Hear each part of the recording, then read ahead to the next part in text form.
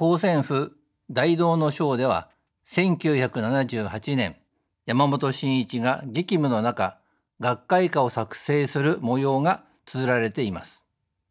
作詞に取り組んだ背景には学会員に対し宗門が理不尽な攻撃を続けていたことがありました。真一は多くの学会員が苦しめられている。だからみんなを励ましたいんだ。こういう時こそ新しい光線ルフのうねりを起こすんだ。どんどん歌を作るよ。と語ります。新一は学会歌作成に全精魂を注ぎながら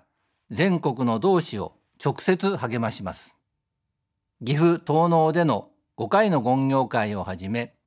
鳥取米子長野松本などで権業会を開催し激励を送ります。新一は未来を展望し人材の流れがとうとうと広がったならば世界交付に全力を注ぎたいと考えていました。そのために一瞬一瞬を真剣勝負で臨み学会歌を通して各地に指定の魂をとどめていったのです。高専府の章に歌に価値をもたらしていくのは皆さんの決意と実践と記されています学会歌に込められた指定の魂を具現化していくのは弟子一人一人の行動に他なりません。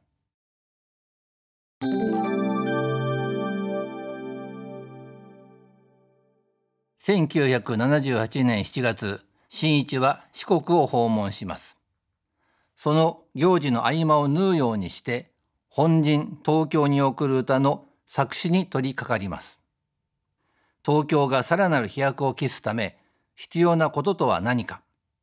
試作を重ねる中で彼の脳裏に浮かんだのが感激という言葉でした。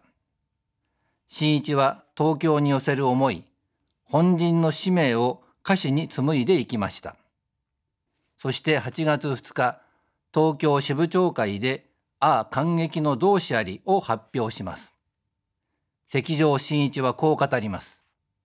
感激は受け身になり義務的に信心に取り組んでいたのでは生まれません。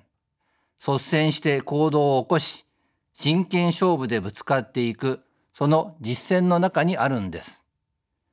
感激のドラマの主役は、他の誰かではありません。私です。感激は主体的な行動によって心にみなぎっていくものです。率先の実践で感激の輪を幾重にも広げていきましょう。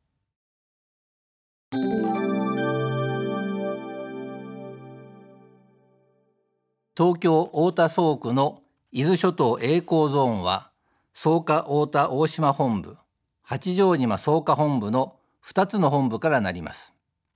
伊豆諸島や小笠原諸島の計11島のメンバーが所属しています。今月婦人部が本部ごとにオンラインの御所学習会を開催しました。今回初めてオンラインでつながることができ大きな喜びが広がっています。勝利東部の歴史は甲府を阻む制約を勝ち越えてきた歴史でもあります。その壮絶なドラマが勝利島の章に克明に描かれていますその根幹はどこまでも指定でした指定の誓いに生き使命を自覚した同志が甲府の大道を切り開いてきたのです。新一は誰人に対しても仲良く強調し、義理を重んじ、大きく抱擁しながら人間性豊かに進んでいかれるよう願ってやみませんと語ります。